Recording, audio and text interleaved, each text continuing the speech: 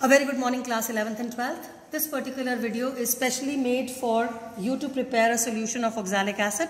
We'll be preparing 100 ml of oxalic acid solution which you need for titration. Now before we weigh for the oxalic acid to prepare the solution, you need to know how much to weigh and how to calculate. So oxalic acid is this formula with 2H2O, don't forget this. The exact structure if you want, I have written down the structure also COOH, COOH with 2H2O. If you calculate the mass of all these atoms, it will come out to be 126U which you have to learn. Now, to prepare the solution, you have given the molarity. Molarity is equal to moles of the solute that is weight of the solute divided by the molecular mass whole divided by the volume of solution in liters.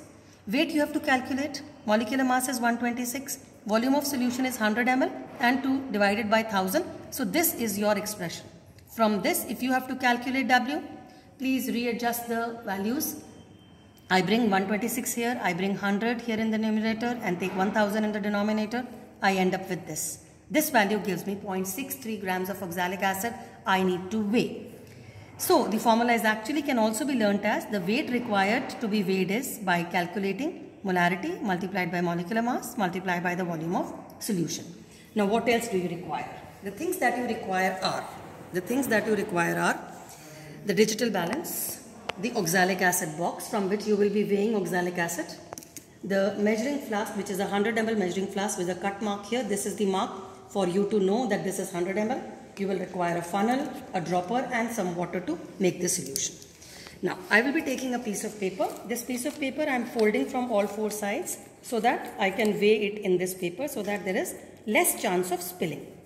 So the first thing is you can open up the digital pocket balance switch the on button. Let it reach 0.00 now at this point you can place your paper. It will weigh the paper. The weight of the paper is 0.56 at this point you can use the tare button. Once you do the tare button this becomes 0.00 which means ki paper ka weight adjust ho gaya. So now you only need to add 0.63 grams of oxalic acid and you can wait so you start adding oxalic acid and wait till you reach 0.63 I've reached 0.39. It's now 50. This is 57. Now cautiously add the rest so that you try not to overshoot the mark. This has reached 58. To that you have 60. So now you have to be really cautious to add any amount. This is 61. Now I'll be adding last few crystals to make it into 0.63 so you have 0.62 and I need one small little crystal to give it me give me the 0.6 done. 0.64 is okay. A small amount extra will not make much of a difference. So up to 0.64 is the tolerable limit. You will now add the put the bark funnel onto the measuring flask and then you will add the salt that you have weighed carefully without any spilling.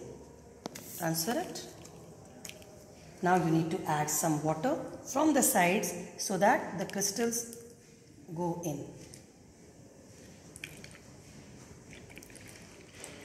After this, you can remove the funnel and start shaking it. When you are shaking it, this would dissolve the oxalic acid and you have to reach to this volume. So you can use your wash water, squeeze bottle and start adding water through it. You can see the value, the level of water is increasing. Now you have to be cautious because this will shoot up.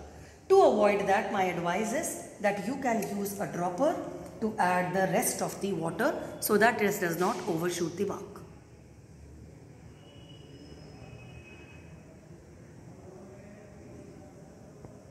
That's it. The lower meniscus is touching the red line and your solution is ready. Please don't forget to transfer it into a beaker and then you can use it for your titrations. With this we come to the end of preparing the